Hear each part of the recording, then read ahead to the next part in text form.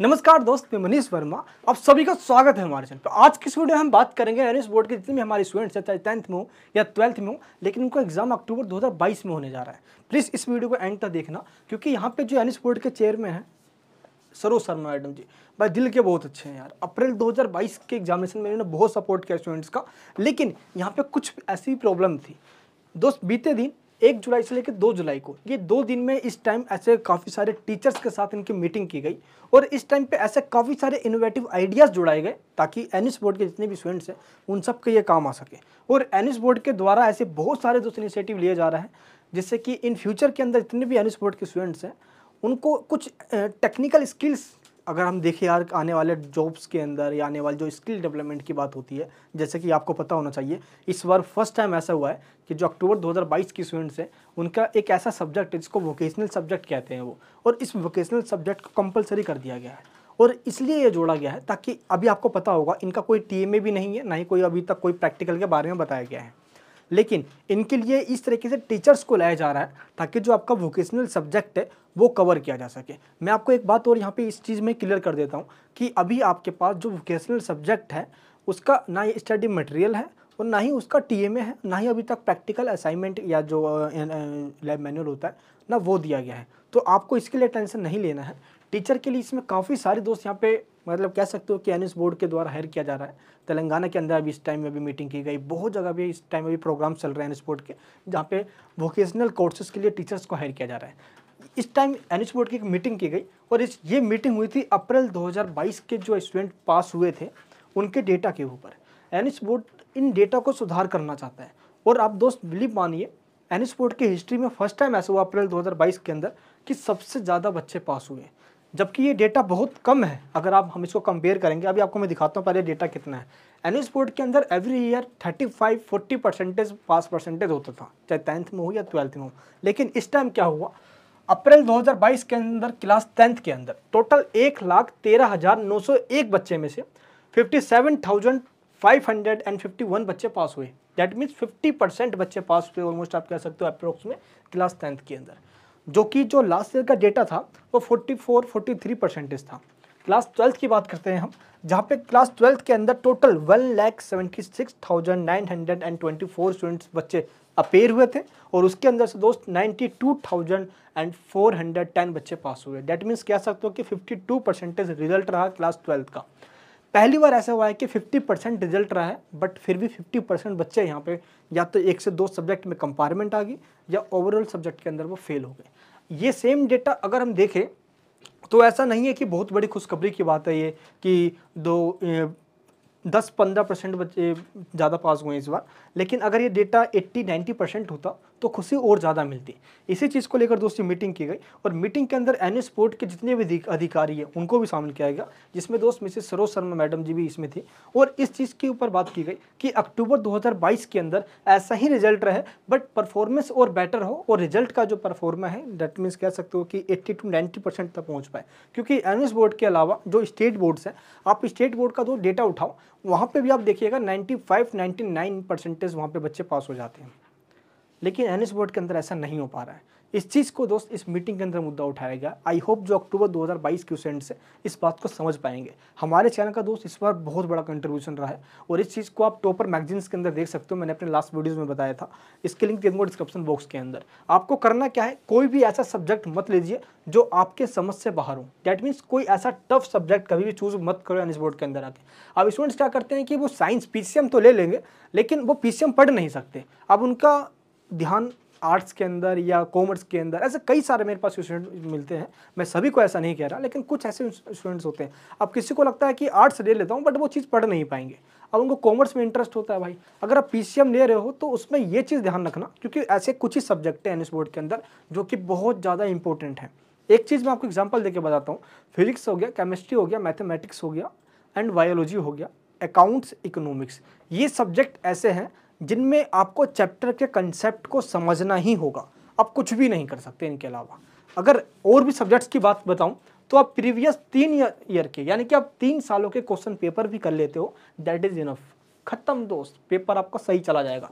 बस प्रीवियस तीन ईयर के साथ, यानी कि लगभग थ्री ईयर्स के क्वेश्चन पेपर देख लीजिए। क्योंकि एन बोर्ड का जो पेपर चेक हुआ इस बार अप्रैल 2022 का भी, वो भी थ्रोली चेक हुआ है पूरा, और अक्सर ऐसा ही होता है। टीचर क्या देखते हैं यहाँ पे कि अगर आपका आंसर सही है मतलब ज़्यादा छोटा भी नहीं है सही लिखा हुआ है आपने, और एटलीस्ट आपने सीट भर दिया है। टीचर आपको मार्क्स देगा ही देगा। तो अप्रैल 2022 के स्टूडेंट्स की तरह मैं अक्टूबर 2022 के स्टूडेंट्स को बताना चाहता हूँ कि आपको भी एक भी क्वेश्चन छोड़कर नहीं आना। अभी टाइम आपके पास, आप कह सकते हो कि तीन महीने बचा हुआ है। अक्टूबर के फ़र्स्ट वीक से आपका पेपर स्टार्ट होने वाला है।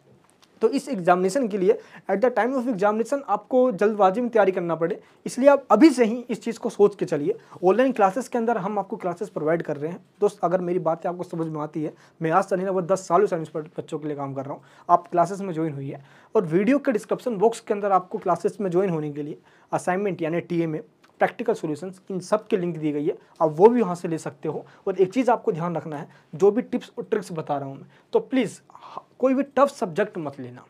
एक गर्ल थी, मैं उनका नाम यहाँ पे मैं बताने नहीं चाहता, मैं फिर भी उनके बारे में बताता हूँ। उन्होंने पीसीएम ले लिया था। फ़र्स्ट ईयर उन्होंने एग्ज़ाम दिया तो वो फेल हो गए। उनको ये लगा कि मैंने पढ़ाई नहीं किया है, मैं फिर से पढ़ूँगी और मैं फिर से पास हो जाऊँगी। फिर से वो उन्होंने पीसीएम का एग्ज़ाम दिया, भाई ऑन डिमांड के अंदर, फिर वो फेल हो गए। जब थर्ड टाइम उन्होंने दिया तो उसमें भी वो फेल हो गए। तो उनको मैंने यही कहा कि आप पीसीएम के लिए बने ही नहीं हो। आप सब्जेक्ट कुछ ऐसा लो जिससे कि आप पास हो जाओ। आप पीसीएम लेकर ऐसा रहोगे, क्योंकि कई होते हैं ना कि पेरेंट्स ऐसा कहते हैं कि नहीं पेरेंट्स चाहते हैं कि बेटा साइंस में पास होगा, थोड़ी वैल्यू अलग होगी। तो ऐसा नहीं होना चाहिए। मेरा ये मानना है, अगर आप पीसीएम कर सकते हो, अगर आप कॉमर्स के अंदर आप अकाउंट्स इकोनॉमिक्स पढ़ सकते हो, अगर आर्ट्स के अंदर आप पॉलिटिकल हिस्ट्री सोशोलॉजी जियोग्राफी ये पढ़ सकते हो तो मच बेटर है। और उसी लड़की को दोस्त क्या किया? मैंने सब्जेक्ट चेंज करके उनको मैंने आर्ट्स के सब्जेक्ट दिलाया, वो पास हो गई। अब जरा वो अगर आपके, अगर एक बार में आप पास नहीं हो पाते हो तो सेकंड चांस आप ट्राई कीजिए। सेकंड चांस पे नहीं हो पाता तो आप थर्ड टाइम भी ट्राई कर सकते हो, ये बुरा नहीं है। लेकिन आप चार बार करो, पाँच बार करो छः बार करो बट आप ट्राई करते जा रहे हो हो ही नहीं रहा कुछ।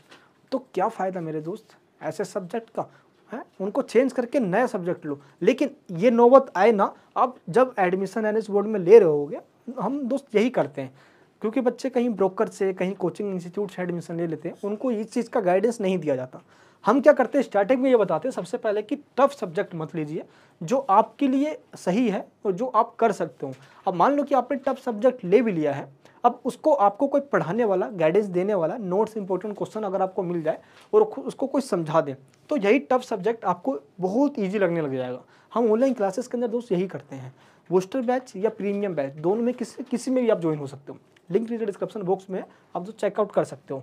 एंड तो तीन मैंने आपको बात बता दी यहाँ पे। कोई भी टफ सब्जेक्ट चूज़ मत करना, ले भी लिया है तो आप उसको चेंज भी कर सकते हो। दिए गए व्हाट्सअप नंबर पे दोस्त आप कांटेक्ट कर सकते हो सब्जेक्ट चेंज के लिए। एंड थ्री ईयर्स के क्वेश्चन पेपर आप चेक कीजिए अनिश बोर्ड की, इससे आपको आइडिया लग जाए क्वेश्चन पेपर कैसा पूछा जा रहा है और किस तरीके से क्वेश्चन आ रहे हैं। कॉपी चेकिंग का जो फॉर्मूला है बोर्ड के अंदर, वो फ्लेक्सीबिलिटी काफ़ी यहाँ पे होती है। लेकिन बच्चे क्या करते हैं अक्सर क्वेश्चन पूछा कुछ हो रहे और लिख, पनी कुछ और ही देते हैं वो। अगर दस परसेंट भी, पंद्रह परसेंट भी अगर मिलता जुलता लिखा है तो ज़ाहिर से बात है मार्क्स मिलेंगे ही मिलेंगे। लेकिन बच्चे बिल्कुल ही गलत लिख देंगे तो उस टाइम पे मार्क्स नहीं मिलता है इस बोर्ड के अंदर। और ये चीज़ मैं हमेशा बताता आया हूँ।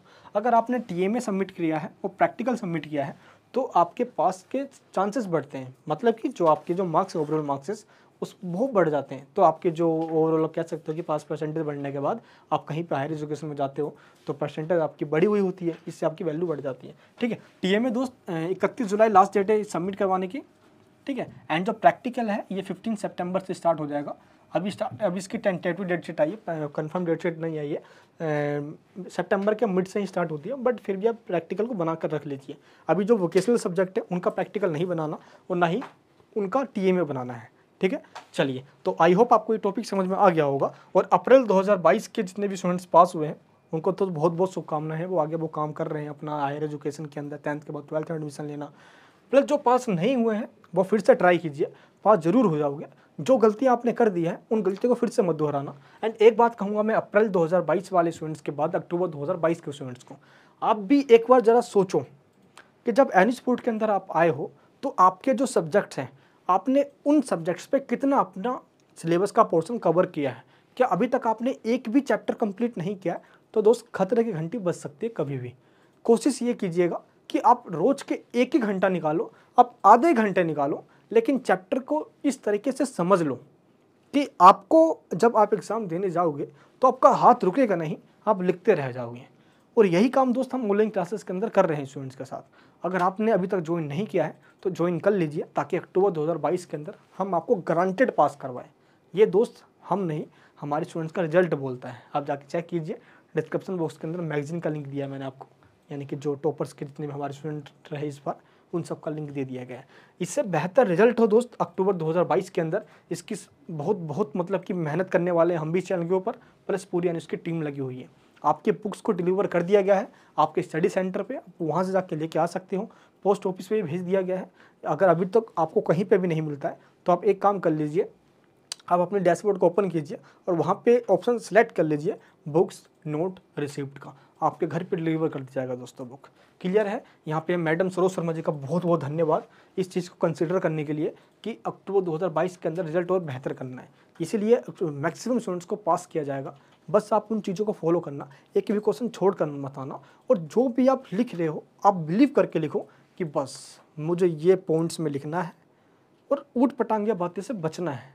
अक्सर क्या करते हैं स्टूडेंट वो बातें लिख कर आते हैं, इसका कोई मतलब ही नहीं है, क्वेश्चन ने पूछा ही नहीं गया है वो। तो इन सब चीज़ से थोड़ा सा बचना है। एलिमेशन का जो थ्योरी होता है ना कि यार, जो चीज़ नहीं पूछा वो लिखना ही नहीं है। मेन मुद्दा लिख कर रहा हूँ पास हो जाओगे यार। तो धन्यवाद मैडम आप जी और अप्रैल 2022 में जो बच्चे इस बार पास हुए, थोड़ा परसेंटेज थोड़ी सी दिल को शांति मिलती है, क्योंकि दस साल से हम तो बच्चों को ऐड कर ही रहे हैं यहाँ पे। रिज़ल्ट बहुत बुरा आया करता था thirty two percent thirty percent यानी कि पास परसेंटेज बहुत कम हुआ करता था। इस बार फिफ्टी परसेंट यानी आधे तक पहुँच गए हैं हम। अब इसको दोस्त मेरा टारगेट है इस बार अक्टूबर 2022 के अंदर 75 परसेंट तक पहुँच पाना। इसमें आप सभी का साथ चाहिए। प्लीज़ दोस्त क्लास को ज्वाइन करके चैनल पर नहीं तो प्लीज़ सब्सक्राइब कीजिए और बेल आइकन ऑन कीजिए। टी में अपना सबमिट कीजिए। नोट्स का लिंक डिस्क्रिप्शन बॉक्स में उसको लेकर अभी से पढ़ना स्टार्ट कीजिए। क्लासेस में दोस्त, मैं पढ़ा ही रहा हूँ आपको। जय हिंद, जय भारत।